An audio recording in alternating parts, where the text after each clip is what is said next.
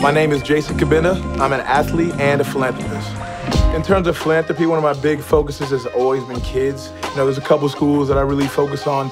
I hold virtual reading sessions every Tuesday on our off days. We did a book drive.